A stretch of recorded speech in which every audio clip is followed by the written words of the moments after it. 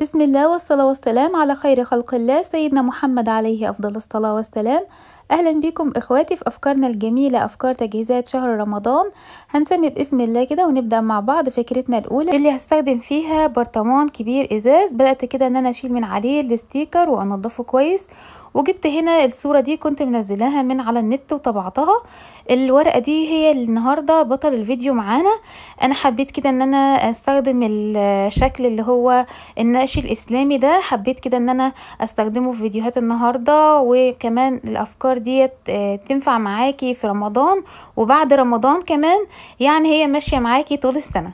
بدأت كده إن أنا أخدت الورقة وقصيت كده الجزء اللي أنا هحدده إن أنا ده هلزقه على البرطمان. أخدت المقاس اللي أنا عايزاه وبدأت أفرغه كده بالمقص وأي زيادة عندي كده بتخلص منها أول بأول.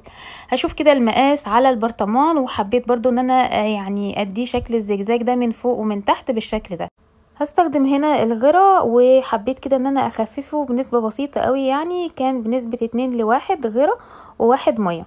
بدأت كده إن أنا أدهن على الزوايا دي كلها عشان أتأكد إن هي هتتلزق معايا مش هتتنى ولا تتقطع. ممكن كمان تستخدمي الورنيش المائي في الخطوة دي. وبعد برضو ما تلزقيه ممكن تستخدمي الورنيش المائي لو أنت حابة إن أنت تعملي طبقة حماية للورقة اللي عندك. بعد ما دهنتها بالشكل ده هتأكد كده إن هي المقاس بتاعها مظبوط وهلزقها مظبوطة بحيث إن هي ما تفكش معايا. لو البرطمان بتاعك كبير وطبعا الورقة ممكن يكون طولها ما كفاش معاكي ممكن تطبعي واحدة تانية وتاخدي منها باقي الأشكال وتقصيها وتكملي باقي الرسمة بتاعتك على نفس السياق.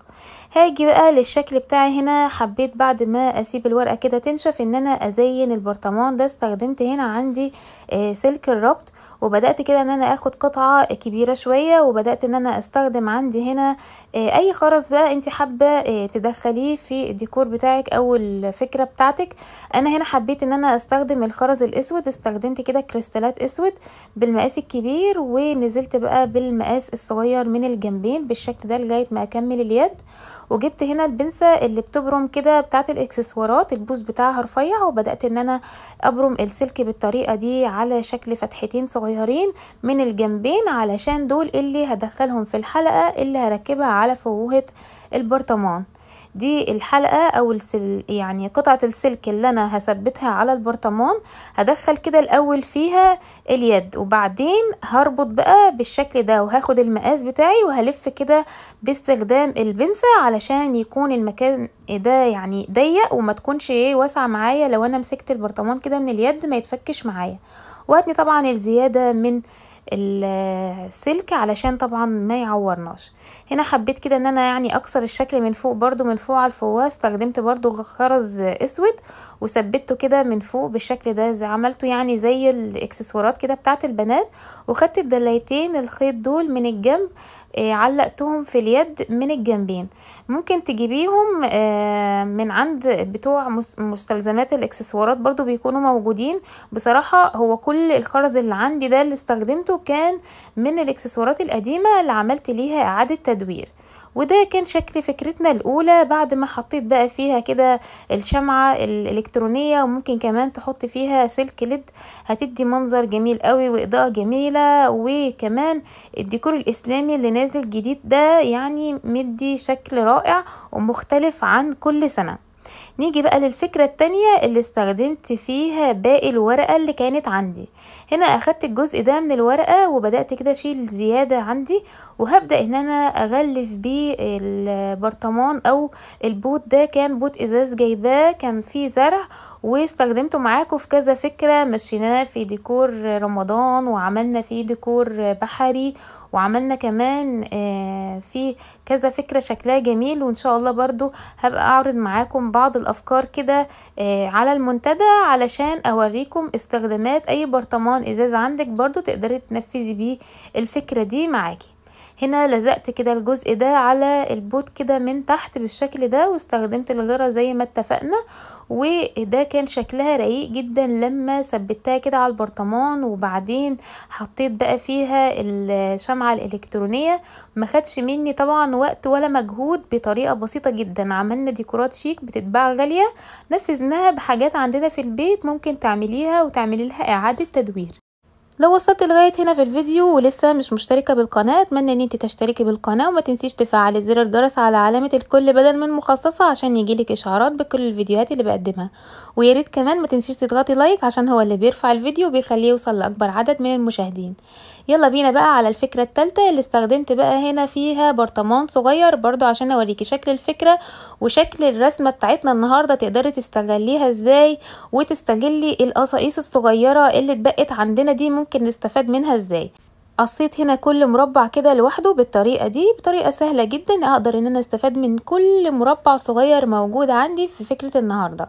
بعد ما أقصهم كلهم بالشكل ده هبدأ إن أنا أختار الألوان اللي هي تحس إن هي بعيدة عن بعضها شوية وهجمع في كل جزء من أجزاء البرطمان اللي عندي كان سداسي كده. فكل جهة حبيت إن أنا أثبت عليها اتنين واخترت كده يكون الألوان مختلفة عن بعضها علشان تبان كده إيه النقشة كده شكلها جميل معايا في المنظر النهائي.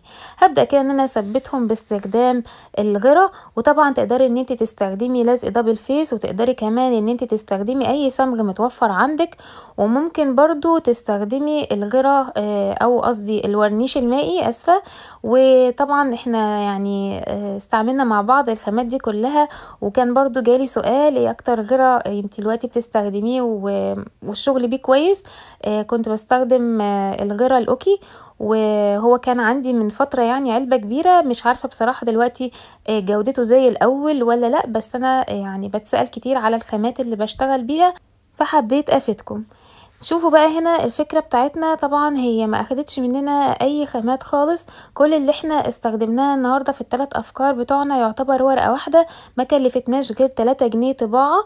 آه طبعا انت هتقدري تنزلي الصورة بكل بساطة وسهولة من على الإنترنت وتقدري إن انت تعملي بيها كذا فكرة زي ما انت شفتي ديكور بسيط عملناه من إعادة تدوير برطمانات وأي كوبايات مثلا إزاز كوبايات الجبنة الإزاز برضو تنفع معاكي في فكرة النهاردة. إيه خيط خيش كده زي ما أنا استخدمته في فكرتي دي. عملت كده ضفيرة إيه من الخيط الخيش وبدأت كده إن أنا إيه أثبتها على فوهة البرطمان من فوق. وأي شمعة لد أو أي شمعة عادية موجودة عندك تقدري إن انت تستخدميها في فكرة النهاردة. أنا كان الطلب مني زي ما قلت لكم فوانيس معمولة بالبرطمانات. هتلاقي أفكار كتير لفوانيس. أنا عاملاها باستخدام البرطمانات موجودة على القناة بطرق كتير مختلفة وسهلة وكلها من إعادة تدوير. وطبعا أنا مش هشكر في الشغل بتاعي اللي يعني الحمد لله يعني عارفة إن هو كويس الحمد لله بفضل الله وللأسف يعني قنوات كبيرة بتاخد الشغل بتاعه وتنسبه لنفسها وتكتب عليه حصري يلا بقى ربنا يسهل لهم ويسامحهم بس أنا بجد مش مسامحاهم. وبكده نكون وصلنا لنهاية الفيديو بتاعنا أتمنى ليكم يا رب حياة سعيدة وأترككم في رعاية الله وأمنه والسلام عليكم ورحمة الله وبركاته.